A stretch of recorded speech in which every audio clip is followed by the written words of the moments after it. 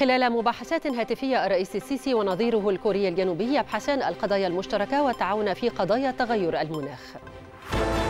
العفو الرئاسي تعلن خروج دفعة جديدة من المحبوسين احتياطيا وتؤكد خروج دفعة أخرى الأسبوع المقبل.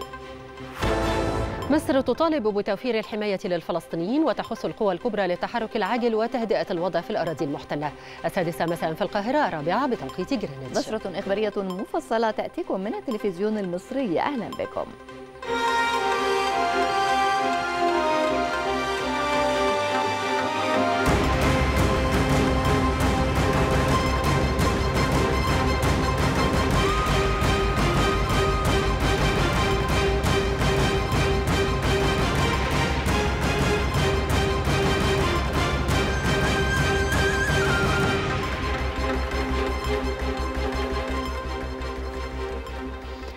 تقدم الرئيس عبد الفتاح السيسي بالتهنئة لرئيس كوريا الجنوبية يون سوك بمناسبة الاحتفال خلال شهر أكتوبر الجاري بيوم تأسيس جمهورية كوريا مؤكدا اعتزاز مصر بالعلاقات الوثيقة الممتدة التي تربطها بكوريا الجنوبية والشراكة القائمة بينهما. جاء ذلك خلال اتصال هاتفي تلقاه الرئيس من نظيره الكوري الجنوبي وصرح متحدث الرئاسة بأن الاتصال تناول تباحث حول عدد من موضوعات التعاون الثنائي بين البلدين خاصة على الصعيد الاقتصادي والاستثماري في إطار علاقات الصداقة بين مصر وكوريا الجنوبية وفي ضوء النماذج الناجحة التي تقدمها الاستثمارات الكورية في مصر في العديد من المجالات. وخلال الاتصال تم تبادل وجهات النظر بشأن الملفات الإقليمية والدولية محل الاهتمام المشترك. وكذلك سبل التعاون في قضايا تغير المناخ خاصة في ضوء استضافة مصر المرتقبة للقمة العالمية للمناخ في نوفمبر القادم بشرم الشيخ. أعلنت لجنة العفو الرئاسي خروج دفعة جديدة تضم 35 شخصا من المحبوسين احتياطيا.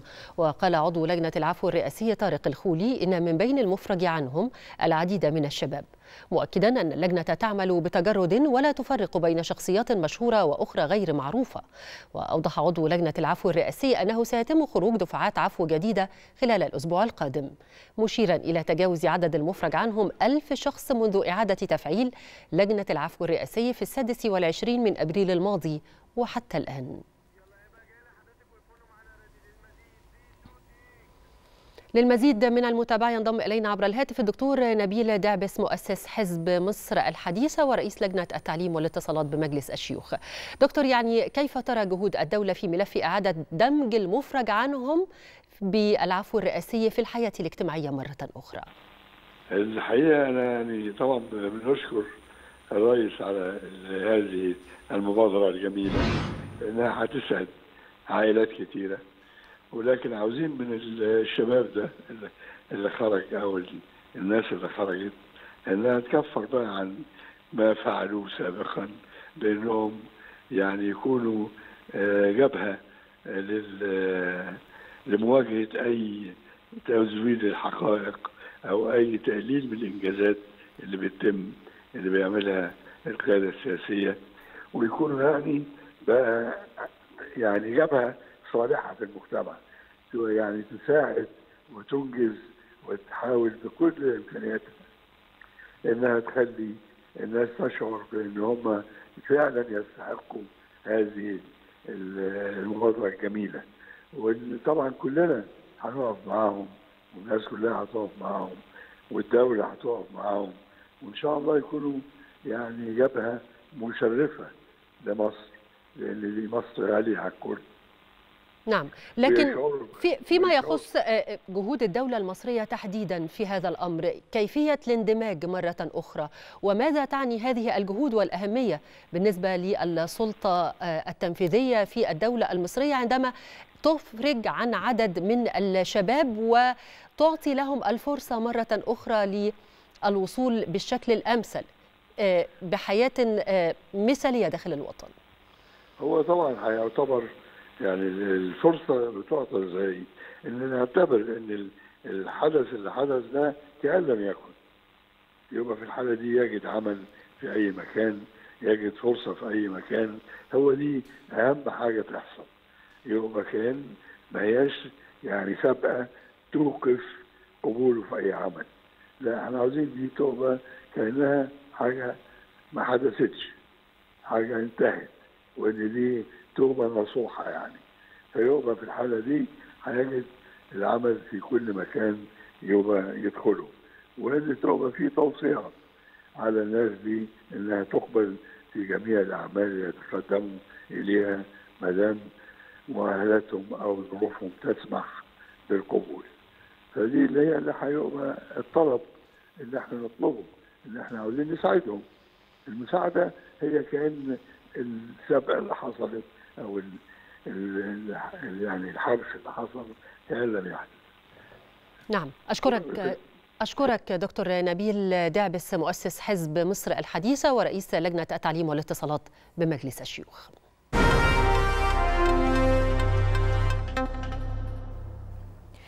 أشاد رئيس مجلس الوزراء مصطفى مدبولي بافتتاح الرئيس عبد الفتاح السيسي لمصنع رمال السوداء بمحافظة كفر الشيخ. لافتا إلى أن هذا المشروع الذي كان حلما منذ سنوات طويلة أصبح حقيقة اليوم. وخلال اجتماع مجلس الوزراء أكد مدبولي أنه بهذا الافتتاح تكون مصر نفذت الجزء الأصعب في هذا المجال الواعد ومن ثم ندعو مؤسسات القطاع الخاص للشراكة. وتطرق مدبولي إلى اللقاء الذي عقده مع الرئيس السيسي مع وفد من رجال الأعمال والمستثمرين المصريين من مختلف القطاعات الصناعية مشيرا إلى توجيه الرئيس المستمر للحكومة بأهمية عقد المزيد من اللقاءات والحوارات مع مختلف رجال الأعمال والمستثمرين للتعرف المباشر على ما قد يواجههم من مشكلات أو تحديات.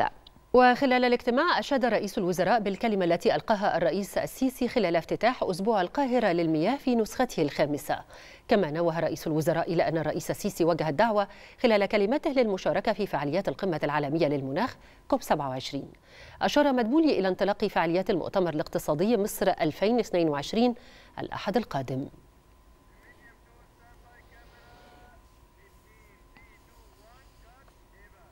أكد رئيس مجلس الوزراء دكتور مصطفى مدبولي ضرورة استمرار العمل على تأمين احتياجات المواطن من السلع الاستراتيجية لمدة ستة أشهر. تنفيذا لتوجيهات السيد الرئيس عبد الفتاح السيسي. وخلال اجتماع عقده لمتابعة جهود توفير الأرز بالسوق المحلية وجه رئيس مجلس الوزراء باستمرار العمل بقرار حظر تصدير الأرز وذلك من أجل تأمين احتياجات السوق المحلية مع تجديد وأحكام الرقابة على المنافذ. شهد رئيس مجلس الوزراء الدكتور مصطفى مدبولي مراسم توقيع اتفاقية تعاون بين الشركة المصرية للاتصالات والمجلس الأعلى للمستشفيات الجامعية بشأن إجراء عمليات استبدال الأجزاء الخارجية لقوقعة الأذن الإلكترونية والتي تستهدف الأطفال والفئات من غير القادرين. من أجل تمكينهم من الانخراط في المجتمع. تأتي هذه الاتفاقية في إطار الدور الذي تقوم به وزارة الاتصالات والشركة المصرية للاتصالات التي تعد, تعد المشغلة الوطنية للاتصالات بالدولة بفضل ما تمتلكه من قاعدة عريضة من جمهور العملاء وفي ضوء اهتمامها بواقع المجتمع المصري. شهد رئيس مجلس الوزراء مصطفى مدبولي يرافقه عدد كبير من المسؤولين وشركاء التنمية الدوليين. شهد افتتاح المرحلة الأولى من مشروع كايرو بايك بوسط القاهرة كأول منظومة مشاركة درجات عامة في مصر تنفرد بها المحافظة. ويأتي المشروع تزامنا مع استعدادات مصر لاستضافة قمة المناخ كاب 27 وحرص محافظة القاهرة على توفير وسائل تنقل صحية وصديقة للبيئة. وتضم المرحلة الأولى لمشروع كايرو بايك 250 دراجة موزعة على 26 محطة. من إجمالي 500 دراجة للمشروع بالكامل. تخدمهم 45 محطة تعمل بالطاقة الشمسية ومؤمنة بكاميرات المراقبة. تشجيعا لفكرة ركوب الدراجات كوسيلة مواصلات في العاصمة تم افتتاح مشروع كايرو بايك في ميدان التحرير كمرحلة أولى تدخل حيز التنفيذ لتقليل الانتقال بالسيارات والحافلات العامة بالوقود مما يسهم في تقليل الانبعاثات والحد من الكثافات المرورية في القاهرة. الهدف من المشروع أولا تخفيف حدة الزخام في وسط القاهرة ودعم المواطنين على استخدام الدراجات في تنقلاتهم بدل المواصلات العامة في وسط البلد عشان خاطر تقليل الكثافة المرورية في في المنطقة وتقليل التلوث الناتج عن عدم السيارات ونشر ثقافة الدراجات بين المواطنين عشان كل الناس تتعود إنها تستخدم وسائل مواصلات صديقة للبيئة. عقب الافتتاح أقيم مؤتمر صحفي للإعلان عن تدشين المرحلة الأولى للمشروع والتأكيد على أهمية الترويج للحلول الصديقة للبيئة لمواجهة تداعيات الآثار السلبية للتغيرات المناخية خاصة في ظل توجه مصر نحو الحفاظ على البيئة. فكرة منظومة مشاركة الدراجات تستهدف الشباب وجميع فئات المجتمع. هي أن تكون المدينة بها شبكة كبيرة من نقاط تتوافر بها دراجات للاستخدام العام. وتدار تلك المنظومة بتطبيق على الموبايل أو بوسائل دفع أخرى مثل بطاقات مدفوعة مقدما لتتناسب مع جميع الفئات وبأسعار مخفضة. هذا ما سوف يتم توفيره الآن في منطقة وسط البلد في المرحلة الأولى والتي تشمل 26 محطة بإجمالي 250 دراجة. المشروع يتم تنفيذه بمناطق وسط البلد وجاردن سيتي والزمالك ويتضمن 500 دراجة. يتم تتبعها بنظام GPS موزعين على 45 محطة تعمل بالطاقة الشمسية ومؤمنة بكاميرات المراقبة في أماكن استراتيجية تتكامل مع محطات المترو وخطوط النقل العام بتكلفة رمزية للمواطنين والطلبة والطالبات. مشروع كايرو بايك هو مشروع مكوناته عبارة عن 500 عجلة وال 500 عجلة دول الحقيقة هم آه ليهم 45 محطة زي المحطة اللي حضرتك شايفها خلفية الكاميرا وبالتالي موجودين في آه محيط وسط البلد كله. ومعانا الزمالك كمان. الهدف طبعا إن إحنا نخفف الزحام شوية في وسط البلد والعربيات والعادم بتاع السيارات ونشجع الناس إن هم تركب عجل لأن هو ال fees بتاعته يعني تكاد تكون free يعني للناس. فبنشجعهم إن هم يركبوها في وسط البلد. يمكن لسكان العاصمة وروادها استئجار الدراجات من مكان ما وترك الدراجة في مكان آخر. وسيعمل هذا النظام على تشجيع استخدام وسائل النقل صديقة البيئة وغير الآلية وكذلك تقليل الاعتماد على وسائل النقل. ويكون بذلك نظاما صديقا للبيئة يحد من الاعتماد على السيارات. أحمد الحسيني التلفزيون المصري. تحتفل القوات البحرية بعيدها الخامس والخمسين الذي يوافق يوم الحادي والعشرين من شهر أكتوبر من عام 1967 وهو ذكرى إغراق المدمرة إيلات الذي يعد أحد أعظم الانتصارات للبحرية المصرية. وخلال وقائع المؤتمر الصحفي الذي عقد بمقر قيادة القوات البحرية برأس التين بالأسكندرية بمناسبة الاحتفال بعيد القوات البحرية أكد قائد القوات البحرية الفريق أشرف إبراهيم عطوة أن المجد الذي تحقق في هذا اليوم كان أكبر برهان على قوة وعزيمة رجال قواتنا البحرية ومقدمة للانتصار العظيم الذي تحقق في السادس من أكتوبر من عام 1973 في إطار احتفالات مصر والقوات المسلحة بذكرى انتصارات أكتوبر المجيدة نظمت جامعة القاهرة بالتعاون مع إدارة الشؤون المعنوية للقوات المسلحة ندوة تثقيفية لغرس روح الولاء والانتماء ونشر الوعي بين طلبة الجامعة وذلك من خلال إلقاء الضوء على بطولات وتضحيات رجال القوات المسلحة في حرب أكتوبر المجيدة. وتضمنت فعالية الندوة محاضرة تناولت تفاصيل حرب أكتوبر المجيدة والتخطيط المتكامل لمعركة النصر بالإضافة إلى إبراز مدى بسالة وشجاعة الجندي المصري ودوره في تحقيق هذا النصر العظيم.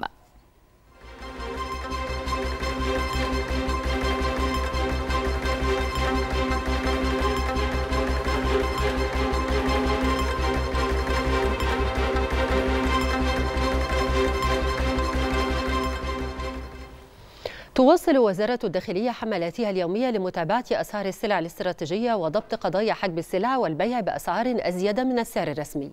وتتمكن خلال 24 ساعة من ضبط 478 قضية تموينية مستندية وعينية. بمضبوطات بلغت أكثر من 203 أطنان مواد غذائية وغير غذائية. وفي مجالي حجب السلع الاستراتيجية والاستيلاء على السلع المدعومة تم ضبط أكثر من 103 طن.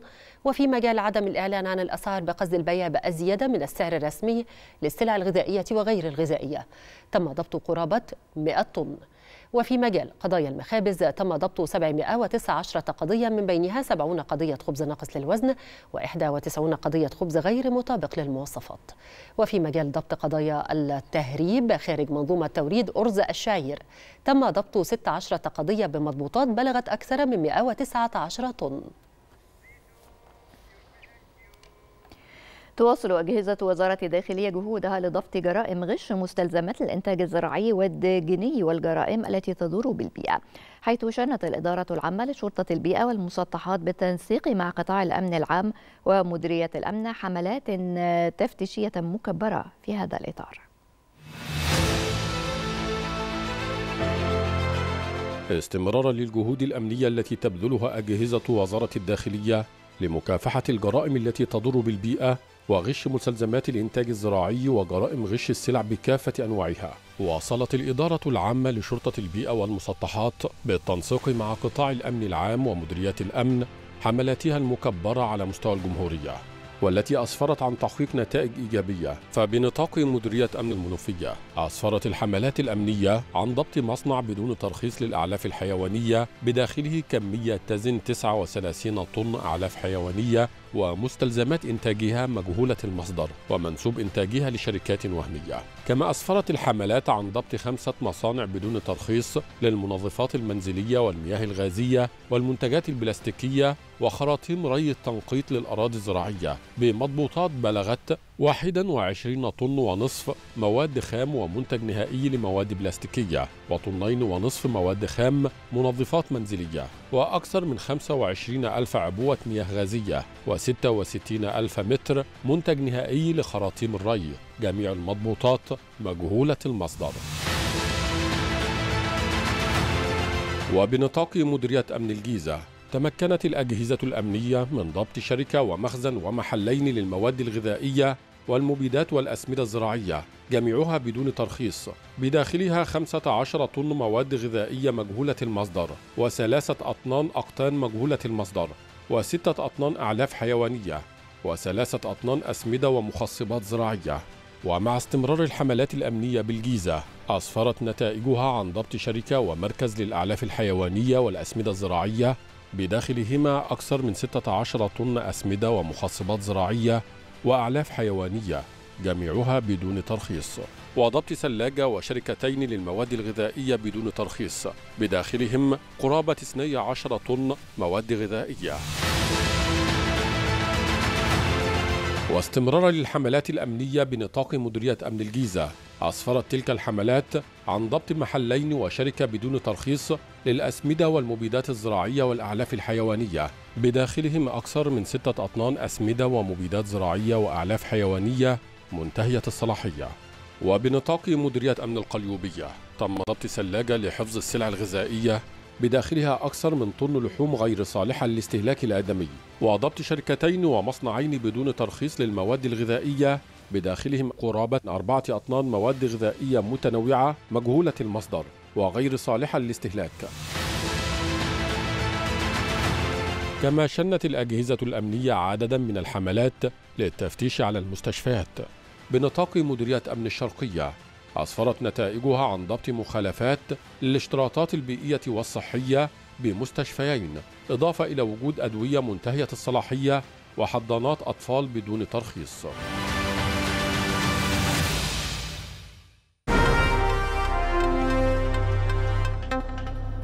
نظمت تنسيقية شباب الأحزاب والسياسيين جلسة نقاشية حول ملف الحبس الاحتياطي وذلك في مقر التنسيقية. تناولت الورشة عدة محاور منها. مفهوم الحبس الاحتياطي كإجراء احترازي في العالم والمعايير الدولية والتعديلات المطلوبة على قانون الإجراءات الجنائية للتعامل مع ملف الحبس الاحتياطي. وخلال الجلسة تم مناقشة التعديلات المطلوبة في قانون الإجراءات الجنائية وكيفية ضبط مواده حتى لا تحمل تأويلات مختلفة. أطلقت تنسيقية شباب الأحزاب والسياسيين ثلاث جلسات نقاشية بمحافظة الشرقية ضمن فعالياتها لدعم الحوار الوطني تحت عنوان قضايا الحوار الوطني. هذا وعقد عضو مجلس النواب عن تنسيقية شباب الأحزاب والسياسيين خالد بدوي الجلسات النقاشية بمركز الإبراهيمية بالمحافظة. ضمت مختلف الفئات العمرية والمهنية واستهدفت الجلسات الاستماع إلى آراء المواطنين ومقترحاتهم والتحديات التي تواجههم ضمن قضايا ومحاور الحوار الوطني المطروحة. منها أهمية العمل العام وأهدافه وأهمية تفعيل مشاركة الشباب في جميع المحاور السياسية والاقتصادية والمجتمعية.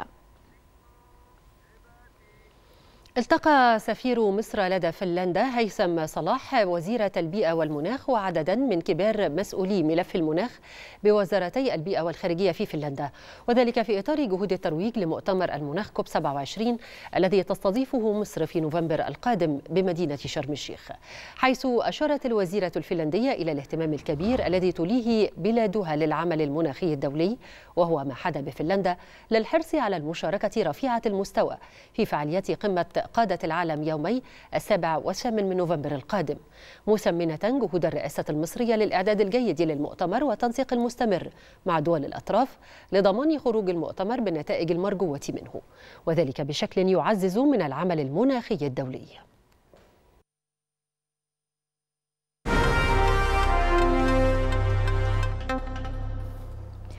تتابع مصر بقلق بالغ تطورات الوضع في الأراضي الفلسطينية المحتلة بعدد من مدن الضفة الغربية وفي محيط المسجد الأقصى على مدار الأيام الماضية. وما تشهده من اعتداءات واستفزازات إسرائيلية متواصلة وتصعيد خطير في حدة ووتيرة العنف. وفي بيان لوزارة الخارجية طالبت مصر بالوقف الفوري للحلقة المفرغة للعنف والاعتداءات والاستفزازات القائمة. وتوفير الحماية للمدنيين الذين تتعرض حياتهم ومقدراتهم للمخاطر. كما حثت مصر القوى الدولية الكبرى وشركاء ورعاة عملية السلام التاريخيين بتحمل مسؤولية وقف العنف والتحرك العاجل لتهدئة الوضع من أجل تشجيع الجانبين الإسرائيلي والفلسطيني لاستئناف عملية السلام. أسفرت جلسة مجلس النواب اللبناني الثالثة لانتخاب رئيس جديد للجمهورية عن تعذر انتخاب رئيس لعدم حصول أي من المرشحين على النسبة الدستورية المقررة للفوز بالرئاسة في الجولة الأولى للانتخاب. وحصل النائب ميشيل معوض على 42 صوتا فيما صوت 55 نائبا بورقة بيضاء. بينما اقترع 22 نائبا لأسماء أخرى. وينص الدستور اللبناني على فوز المرشح الذي يحصل على أغلبية 86 صوتا من بين أصوات 128 عضو بالمجلس في الجولة الأولى للانتخاب. وفي حال عدم حصول أي من المرشحين على هذا العدد تجرى جولة ثانية يفوز فيها من يحصل على 65 صوتا. في العراق أفاد مصدر أمني بمقتل وإصابة ثلاثة من قوات الأمن جراء هجوم إرهابي شمالي بغداد. أضاف المصدر الأمني أن الهجوم الإرهابي شنته عناصر تنظيم داعش الإرهابي على القوات الأمنية في الطارمية شمالي العاصمة بغداد مشيرا إلى أن القوات الأمنية ردت على العناصر الإرهابية وأجبرتهم على الانسحاب. أضاف المصدر الأمني أنه تم العثور على وكر للتنظيم الإرهابي بمنطقة الاشتباك.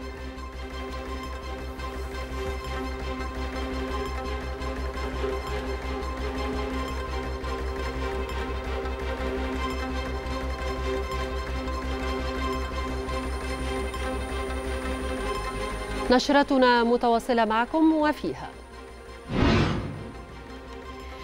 أوكرانيا تبدي قلقها من هجوم روسي محتمل انطلاقا من بيلاروسيا.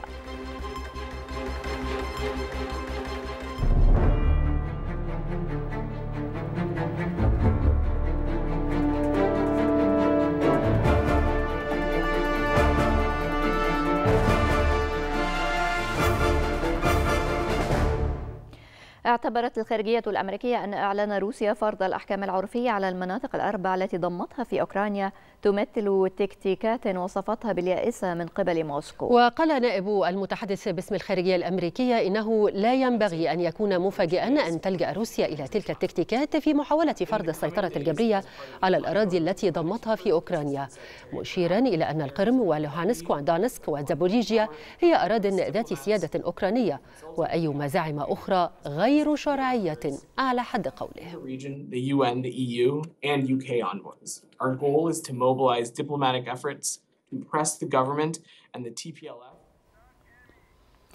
قالت وزارة الدفاع الروسية إن القوات الروسية واصلت توجيه ضربات على أهداف عسكرية أوكرانية ومنشآت للطاقة خلال الساعات الأربع والعشرين الماضية. وأوضحت وزارة الدفاع الروسية أن قوات الجيش صدت هجوما مضادا شنته القوات الأوكرانية في منطقة خيرسون التي يقوم فيها حاليا مسؤولون محليون.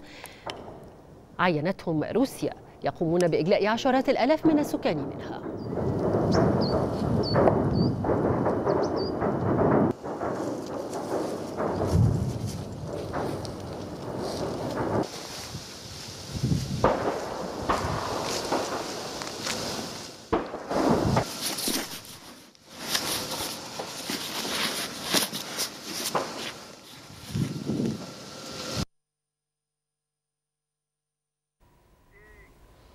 أبدى الجيش الأوكراني قلقه من خطر متزايد لهجوم روسي جديد انطلاقا من الجارة الشمالية بيلاروسيا التي شكلت أراضيها قاعدة خلفية للقوات الروسية لعملياتها العسكرية على أوكرانيا. وصرح المسؤول في هيئة الأركان الأوكرانية أولكسي جروموفا بأن الخطاب المعادي للقادة العسكريين والسياسيين في روسيا وبيلاروسيا يتصاعد مؤكدا أن خطر تجدد الهجوم على الجبهة الشمالية من جانب القوات الروسية. يتزايد.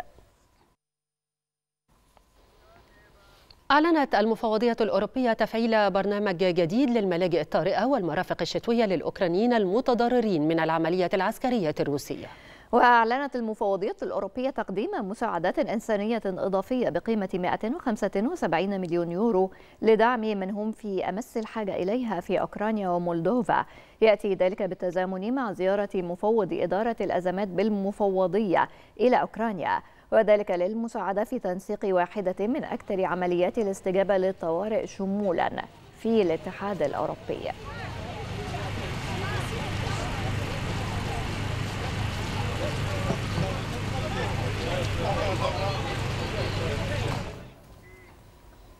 قال وزير الدفاع البريطاني بن والاس إن مقاتلتين روسيتين اعترضتا طائرة عسكرية بريطانية غير مسلحة كانت في مهمة روتينية فوق البحر الأسود في التاسع والعشرين من سبتمبر الماضي وفي بيان ألقاه أمام مجلس العموم البريطاني أكد والاس أن بلاده لا تعتبر الحادثة تصعيدا متعمدا من قبل روسيا مشيرا إلى أن موسكو أعلنت أن الحادث يعد خطأ تقني indeed in, even in, in Ukraine, some of their supply chain was in Ukraine. So we have the ability to refurbish or indeed manufacture. دخلت الأزمة الأوكرانية فصلا جديدا بعد إدانات أمريكية وغربية لاستخدام روسيا طائرات مسيرة في أوكرانيا. كان مجلس الأمن الدولي قد عقد جلسة لبحث ملف استخدام المسيرات في الأراضي الأوكرانية حيث حذرت دول في مقدمتها الولايات المتحدة من استخدامها لتدمير البنية التحتية الأوكرانية. فصل جديد من فصول الأزمة الأوكرانية دخلتها بسبب الطائرات المسيرة التي تزعم أوكرانيا والدول الأوروبية أن موسكو تستخدمها في تنفيذ عدد من العمليات العسكرية في أوكرانيا. وخلال جلسة مغلقة لمجلس الأمن الدولي تمت مناقشة ملف المسيرات التي حصلت عليها روسيا حيث حذرت الولايات المتحدة وفرنسا وبريطانيا من استخدام تلك الطائرات لتدمير البنية التحتية الأوكرانية. وأبلغت أوكرانيا منذ أسابيع عن شأن روسيا هجمات بطائرات بدون طيار تنفجر رؤوسها الحربية في عمليات هبوط انتحارية. هذا ورغم النفي الروسي. أعلن الجيش الأوكراني من جانبه إسقاط أكثر من 220 طائرة مسيرة خلال شهر. فيما أعلنت وزارة الخارجية الأمريكية أنها تملك أدلة على استخدام موسكو لهذا النوع من الطائرات. كما كشفت الولايات المتحدة معلومات استخبارية تؤكد أن المسيرات أصيبت بأعطال في أحيان كثيرة وأن روسيا تحولت إلى كوريا الشمالية للحصول على طائرات بعد رفض الصين الدعوات لإرسال أسلحة. كما قال وزير الدفاع الإستوني هانو بيفكور إن روسيا تعتمد على الطائرات المسيرة بسبب قلة الإمدادات ونجاح أوكرانيا في حماية أجوائها. مشيرا إلى أن القوات الروسية فقدت الكثير من الطائرات بفضل الدفاعات الجوية الأوكرانية وأعلنت باريس أنه من المقرر عقد جلسة جديدة لمجلس الأمن الدولي الجمعة المقبلة بناء على طلب فرنسا والمكسيك حول حماية المدنيين وبحث موضوع الضربات العشوائية ضد المدنيين التي قد ترقى إلى جرائم حرب.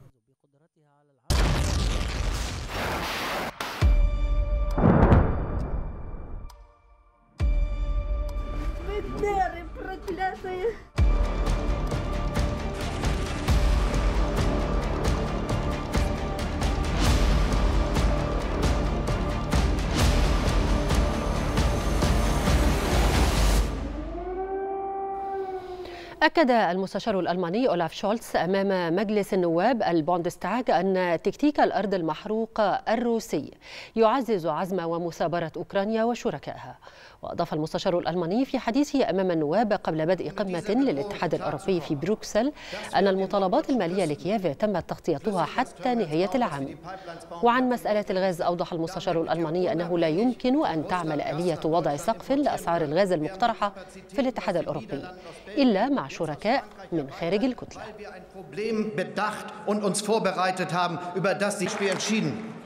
um mit dieser Bedrohung klarzukommen.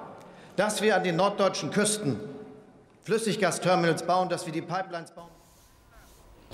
وإلى اليابان حيث واصلت العملة هبوطها أمام الدولار وتراجعت إلى 150 ينا أمام العملة الأمريكية للمرة الأولى منذ العام 1990 ما أثار تكهنات حول تدخل جديد محتمل من اليابان لدعم الين وكان الدولار يساوي 149.92 ين بعد تخطيه لفترة وجيزة عتبة 150 ينا وهو أدنى مستوى منذ أغسطس 1990 وسط الاختلافات المتزايدة بين السياسات النقدية الأمريكية واليابانية. وتراجعت العملة اليابانية من المستويات التي سجلتها في فبراير أمام الدولار عند 115 ينا تقريبا. في حين يتمسك بنك اليابان بسياساته طويلة الأمد شديدة التساهل والتي صممت لتشجيع النمو المستدام في ثالث أكبر اقتصاد في العالم.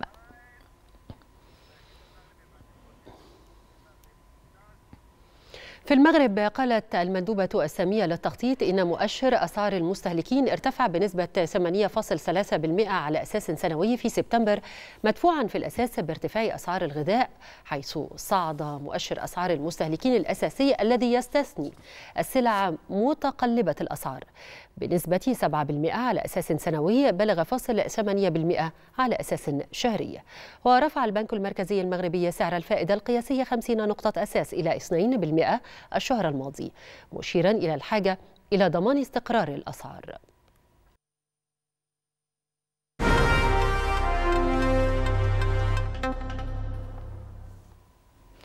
دعا زعيم المعارضة البريطانية سير كير ستارمر إلى انتخابات فورية. كما دعت أحزاب الخضر والديمقراطيين الأحرار والوطني الاسكتلندي لإجراء انتخابات عامة. جاء ذلك بعدما أعلنت ليز تراس بعد مرور ستة أسابيع من رئاستها للوزراء. أعلنت استقالتها من المنصب. كما أعلنت عن إجراء انتخابات الأسبوع المقبل لاختيار خلف لها من المحافظين.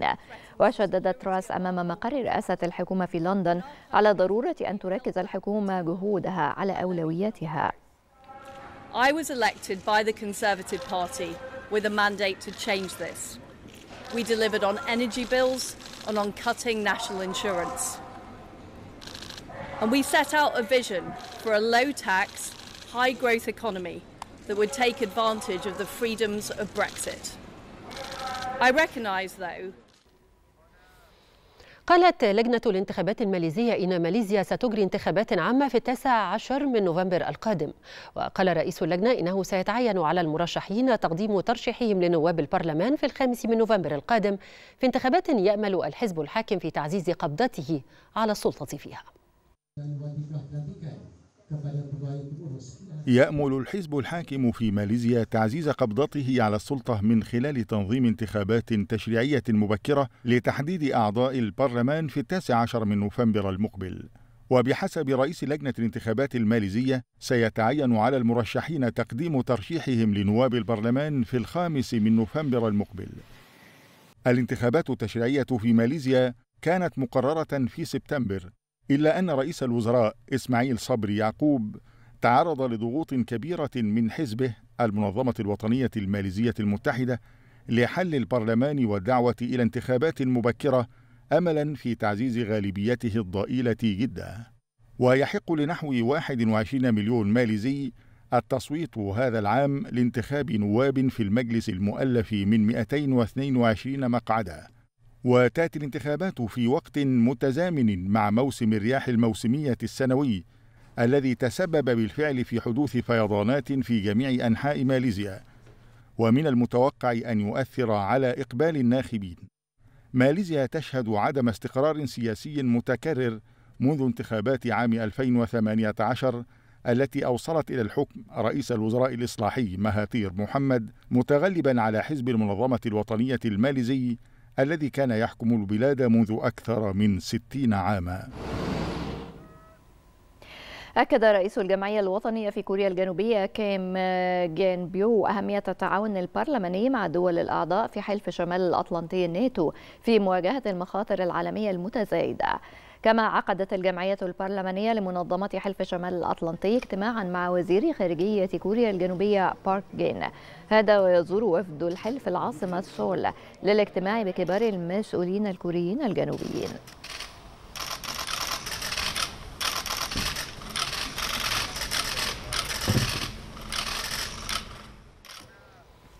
قلص الرئيس البرازيلي المنتهية ولايته جاير بلوسونارو الفارق بينه وبين منافسه اليساري الرئيس الأسبق لولا دا سيلفا بحسب ما أظهر استطلاع للرأي. وأظهر الاستطلاع الذي أجراه معهد داتا بولها إن الرئيس اليساري الأسبق حصل على 52% من آراء المستطلعين في مقابل 48% للرئيس المنتهية ولايته.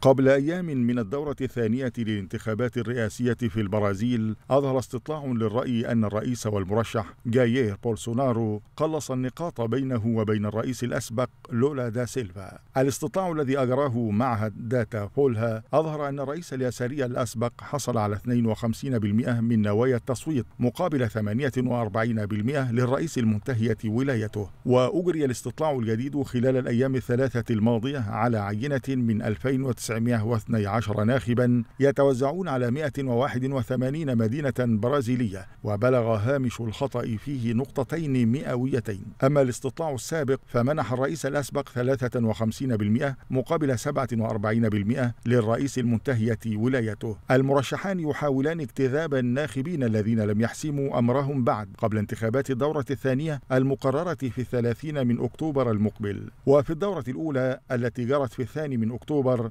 حل لولا في المرتبة الأولى بحصوله على 48% من الأصوات مقابل 43% حصل عليها بولسونارو. وإثر الدورة الأولى تعرضت معاهد الاستطلاع المختلفة لانتقادات شديدة لأنها لم تتوقع النتيجة الكبيرة التي أحرزها الرئيس المنتهية ولايته إذ إن معظم الاستطلاعات التي أجرتها منحته يومها 37% من نوايا التصويت بالحد الأقصى. استطلاع الرأي لا يشكل بالضرورة استشرافا للنتيجة بل يعكس رأي الناخب في اللحظة التي يتم فيها استطلاع الرأي فقط. أعلن الرئيس التشادي محمد ديبي أنه حالة طوارئ بهدف احتواء وإدارة الفيضانات التي تضرب البلاد منذ أسابيع محذرا من حدوث فيضان يشمل معظم المقاطعات. وفي خطاب قال ديبي إن هذه الفيضانات التي اجتاحت مناطق في جنوب تشاد ووسطها نجمت عن هطول أمطار غزيرة طالت 636 بلدة في 18 مقاطعة من أصل 23 مقاطعة بالبلاد وتضرر منها أكثر من مليون شخص مضيفا أن المياه أتت على أكثر من 465 ألف هكتار من الحقول و19 ألف رأس ماشية.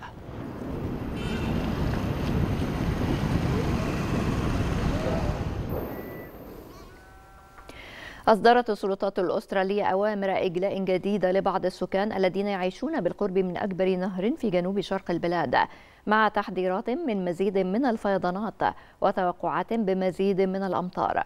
وقال رئيس الوزراء الأسترالي أنتوني ألبانيز إن ما يصل إلى 500 من أفراد الدفاع سيساعدون في مكافحة آثار الفيضانات حيث يملأ المئات بالفعل أكياس الرمل كما يجري نشر طائرات هليكوبتر عسكرية في مهمات إجلاء وإعادة إمداد.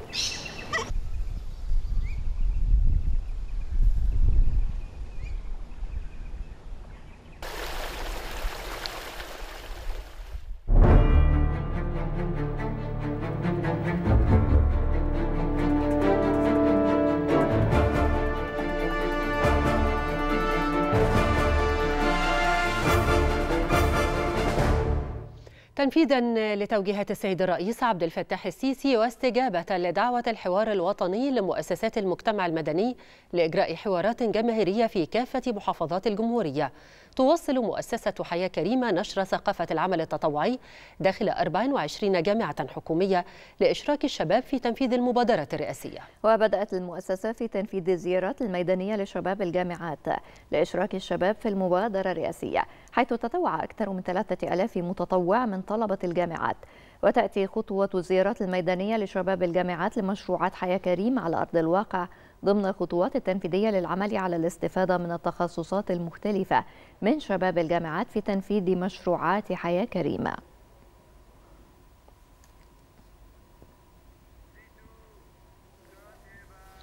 انطلقت قافلة طبية بقرية أبو غصون التابعة لإدارة مرسى علم الصحية ضمن المبادرة الرئاسية حياة كريمة. وتم توقيع الكشف وصرف العلاج ل 69 حالة بمختلف التخصصات الطبية.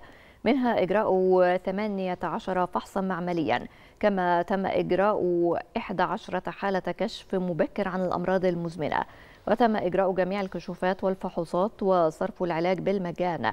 وذلك لضمان وصول الخدمة الطبية لجميع أهالي قرى ومدن محافظة البحر الأحمر. نظمت جامعة المنوفية بالتعاون مع مؤسسة حياة كريمة ندوة توعوية لطلاب الجامعة لتعزيز جهود العمل التطوعي لشباب الجامعات في المبادرة الرئاسية حياة كريمة. أوضح رئيس جامعة المنوفية عادل مبارك أن مبادرة حياة كريمة تسعى إلى تقديم حزمة متكاملة من الخدمات التي تشمل جوانب مختلفة صحية واجتماعية وكذلك معيشية كما تقوم بتقديمها إلى المواطن المصري.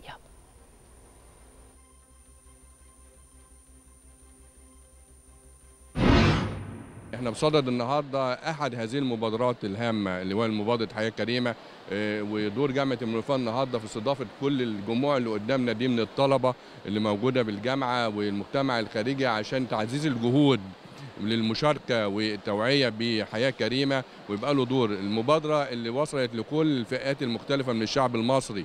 الحقيقة إحنا موجودين النهارده في رحاب جامعة المنوفية عشان آه نوصل آه رؤية وأهداف ومحاور مؤسسة حياة كريمة لأكبر قدر من الشباب مصر دولة شابة. عندنا الشباب 60% بيمثلوا 60% من المجتمع المصري. فبالتالي مؤسسة حياة كريمة حريصة جدا إن هي يكون في مشاركة من الشباب. دي المرحلة الثالثة من الندوات اللي بتعقد داخل الجامعات المصرية. الهدف من وجودنا النهارده إن إحنا نقدر نوصل فكرتنا للشباب الموجودين في الجامعات المصرية. إحنا النهارده جايين نعمل ندوة توعوية للطلاب نعرفهم مبادرة حياة كريمة بتقدمه للبلد وإن وإيه اللي بيتعمل يعني هدف حياة كريمة مش بناء بنية تحتية فقط ولكن بناء إنسان. يعني إنسان يعرف يتعامل مع بلده بتطوراتها برؤيتها الجديدة بكل ما تهدف إليه لمصر 2030 حياة كريمة مبادره رئاسيه بقالنا سنتين موجودين فيها. أه الحمد لله بفضل الله كل المشروعات وكل الخدمات اتعملت. محتاجين إن شباب الجامعات يكون معانا ويبدأ يعرف بقيه الشباب حياة كريمة و... وإيه اللي هي حياة كريمة بتقدمه للمواطن. قدرنا نساعد أهالينا بمبادرة حياة كريمة. آه النهارده جينا في دور جامعة المنوفية عشان نعرف بقية الطلبة جامعات المنوفية إيه هي حياة كريمة. حياة كريمة دورها إيه في المجتمع؟ بتفيد بإيه؟ في ناس كتير من طلبة الجامعات مش عارفين عايزين دخل يدخلوا معانا بس هم عايزين يعرفوا إيه هدف حياة كريمة. حاليا إحنا موجودين كلنا علشان خاطر الفعالية اللي عاملاها حياة كريمة علشان نبدأ إن إحنا نوعي الشباب أكتر بخصوص مبادرة حياة كريمة. نبدأ إن إحنا نعرفهم إن فعلا في مجال للتطوع إن أنتوا تبقوا زينا برضو بنساعد في بناء مصر في مبادرة حياة كريمة. إحنا النهارده جايين نعرف الشباب يعني إيه حياة كريمة يعني إيه مؤسسة حياة كريمة اللي بتهدف للمجتمع لخدمة المجتمع والمشروعات القومية زي صرف صحي زي خدمات زي حاجات بتعوق المواطنين. حياة كريمة تقدر توفر الحاجات دي ومبادرة محترمة. جهزت مؤسسة حياة كريمة بالتعاون مع مؤسسة كلمة وطن مشغل لتعليم الفتيات والسيدات فنون الخياطة وذلك بمدينة السادس من أكتوبر بمحافظة الجيزة. قامت المؤسسة بتوفير كافة مستلزمات المشغل من ماكينات للخياطة والتفصيل والتطريز وغيرها حيث من المستهدف تخريج أول دفعة من المتدربات خلال ثلاثة أشهر حتى تكون أول خطوة على طريق النجاح.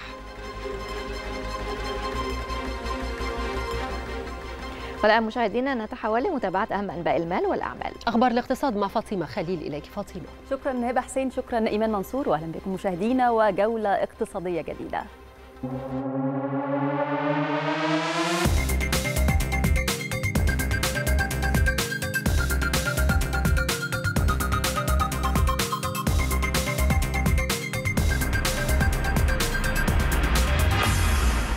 أكد رئيس المنطقة الاقتصادية لقناة السويس وليد جمال الدين الدعم الكامل الذي توليه المنطقة الاقتصادية للشركات الموقعة على مذكرة التفاهم من أجل توطين الوقود الأخضر. جاء ذلك خلال لقاء رئيس المنطقة الاقتصادية لقناة السويس ورئيس مشاريع إزالة الانبعاثات الكربونية الاستراتيجية بشركة ميرسك كاي فيشنر وممثل مجموعة ميرسك مصر هاني النادي. ونائب رئيس مجلس الإدارة والعضو المنتدب لشركة سيمنز للطاقة ليلى الحارس ووفد يضم عددا من الخبرات الفنية من الشركتين وبحضور ممثلي وزارات الكهرباء والصندوق السيادية. حذرت الحكومة أصحاب المخابز السياحية من التلاعب في أوزان وسعر رغيف الفينو وأيضا الخبز الحر السياحي. يأتي هذا بعدما بدأت الحكومة في توفير الدقيق الفاخر لأصحاب المخابز السياحية. حملة جديدة تطلقها الحكومة لضبط الأسواق وأسعار وأوزان رغيف الخبز الفينو والسياحي عن طريق توفير الدقيق بأسعار مخفضة وجودة عالية. بتقوم بتوزيع الدقيق الفاخر السياحي على المخابز وده طبعا بناء على تعليمات وتوجيهات معالي الوزير لإحداث توازن في سعر الرغيف موجود في السوق. وتوفيرا لرغيف الفينو للأطفال المدارس خصوصا وإحنا في أيام الدراسة بالسعر المناسب وبما تماشى طبعا ويتناسب مع دخول المستهلكين اللي بتحتاج لرغيف الفينو في الفترة دي. الهدف الرئيسي إتاحة شراء القمح من داخل وزارة التموين والتجارة الداخلية زي ما أعلن معالي الوزير بسعر 8700 جنيه لكافة الصناعات الغذائية وكافة المصانع اللي بتشتغل في الحلويات والمخبوزات ومصانع المكرونة. المستوى الثاني من منظومة وزارة التموين أن أنا أتحت لمصانع المكرونة اللي بتشتغل في منظومة التموين وبتورد لنا المكرونة على المنظومة إن هي تاخد الدقيق بسعر 10000 جنيه. المستوى الثالث وهو أهم مستوى في منظومة العيش السياحي أو الفينو إن أتحت للمخابز السياحية المرخصة والمخابز الأفرنجية من خلال التقدم بطلب لمديرية التموين إن هي تحصل على الدقيق استخراج 72 الدقيق ده الفاخر بسعر 10000 فقط 10000 جنيه للطن الواحد. وصل سعر طن الدقيق في الأسواق ل 17 ألف جنيه إلا أن الدولة توفره للتجار وأصحاب المخابز بسعر أقل بكثير وبكميات كبيرة حسب الطلب مما يساعد على محاربة جشع التجار وتوفير رغيف الخبز للمواطنين بأسعار مناسبة. الناس بتتعامل معانا عادي يعني دلوقتي كان الأول كانت الناس بتتعامل معانا بالعز صغير و... وكلام كتير من الناس. لكن دلوقتي الحمد لله يعني العيش وفرناه. استلمنا من وزارة التموين دقيق رخيص. وعرفنا نطلع الرغيف اللي إحنا عايزينه. طبعا دلوقتي غير غير امبارح وغير أول امبارح. طبعا كده وزنه مع معقول. يعني بتاع امبارح بسعر النهارده. يعني بتاع امبارح اللي هو وزنه أقل من كده كان ب 2 جنيه. دلوقتي بقى بجنيه. حلو. كويس. بعين عيش أبيض وحلو وجميل وزي الفل. حملة تستمر لمدة شهر مع بداية موسم الدراسة والذي يتزايد فيه الطلب على الخبز السياحي والفينو بالإضافة لتوقيع غرامات على المخالفين للأوزان وأسعار الرغيف. تصل لعشرة آلاف جنيه للمخالفة الواحدة. كريم بيبرس التلفزيون المصري. وإلى سوق المال حيث أنهت البورصة المصرية تعاملات جلسة اليوم نهاية جلسات الأسبوع بارتفاع جماعي للمؤشرات مدفوعة بمشتريات محلية وعربية وسط تداولات متوسطة وربح رأس المال السوقي نحو 4 مليارات و300 مليون جنيه ليغلق عند مستوى 710 مليارات و813 مليون جنيه. أما على صعيد المؤشرات ارتفع مؤشر EGX 30 بنسبة 1.15 من 100% ليغلق عند مستوى 10273 نقطة. كما قفز مؤشر الشركات الصغيرة والمتوسطة EGX 70 متساوي الأوزان بنسبة 75 من 100% ليغلق عند مستوى 2223 نقطة. صعد مؤشر EGX 100 متساوي الأوزان بنسبة 84 من 100% ليغلق عند مستوى 3180 نقطة. إلى أسواق العملات حيث تباينت أسعار العملات أمام الجنيه المصري ليسجل الدولار الأمريكي نحو 19 جنيه و63 قرشا للشراء و19 جنيه و70 قرشا للبيع. بالنسبة لسعر اليورو وصل سعره إلى 19 جنيه و23 قرشا للشراء و19 جنيه و32 قرشا للبيع. بالنسبة لسعر الجنيه الاسترليني وصل سعره إلى 22 جنيه و10 قروش للشراء و22 جنيه و20 قرشا للبيع. أما عن أسعار العملات العربية وصل سعر الدرهم الإماراتي إلى 5 جنيهات و34 قرشا للشراء و5 جنيهات و36 قرشا للبيع. بالنسبة لسعر الريال السعودي وصل سعره إلى 5 جنيهات و22 قرشا للشراء و5 جنيهات و24 قرشا للبيع. في أسواق المعادن النفيسة تراجعت أسعار الذهب العالمية لتصل إلى 1650 دولار للأوقية. محليا سجل عيار 18 نحو 950 جنيه أما بالنسبة لعيار 21 وصل سعره إلى 1110 جنيهات وهو الأكثر مبيعا. أما عن سعر عيار 24 وصل سعره إلى 1270 جنيه. بالنسبة لسعر الجنيه الذهب وصل سعره إلى 8810 جنيهات. وصل الجنيه الاسترليني ارتفاعاته خلال التعاملات رغم إعلان استقالة رئيسة الوزراء البريطانية ليز تراس وتصريح لمسؤول بلجنة السياسة النقدية ببنك إنجلترا التكيف مع السياسات المالية الجديدة. هذا وارتفع الجنيه الاسترليني بنسبة 53 من 100% إلى دولار و12 سنت كما ارتفع أمام اليورو بنسبة 18 من 100% إلى يورو وخمسة سنتات.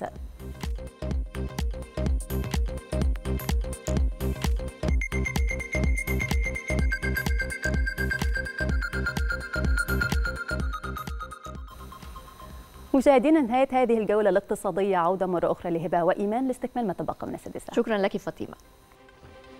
ولم يتبقى لنا في نشرتنا سوى التذكرة بأبرز ما جاء فيها من أخبار. خلال مباحثات هاتفية الرئيس السيسي ونظيره الكوري الجنوبي يبحثان القضايا المشتركة والتعاون في قضايا تغير المناخ.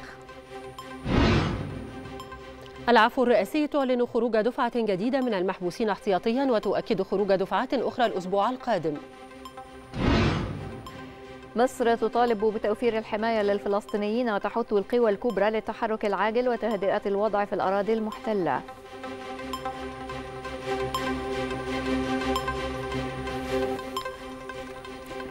انتهت نشرتنا أتتكم من التلفزيون المصري. شكرا لكم وإلى اللقاء.